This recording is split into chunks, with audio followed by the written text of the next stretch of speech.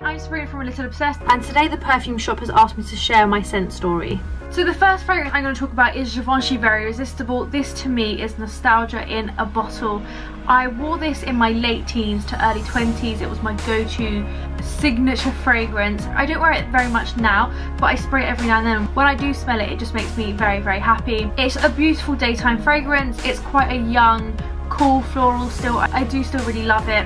I would highly recommend keeping nostalgic fragrances in your collection if possible because they just make me so happy and especially a little pick me up I will wear this and it really really works. Then on to my current signature fragrance. This is YSL Mon Paris Couture. Love this fragrance. It's a great spring summer scent in my opinion but I still feel very comfortable wearing it in the winter which is quite important to me. It's quite a fruity florally scent not too young. I think it's actually one that works really well for most age group and I just really like it. Another range which I really love is the Viktor and Rolf Flower Bomb range. Here I have Dew which came out this year but I love the whole Viktor and Rolf Flower Bomb range. I've worn a lot of their fragrances on holiday so they definitely remind me of sun and summer and holiday which of course makes me very happy. This has a few different notes to the classic one but you can definitely still smell the classic scent in there and it's just a beautiful daytime scent. But for the evening I really like Carolina Herrera Good Girl.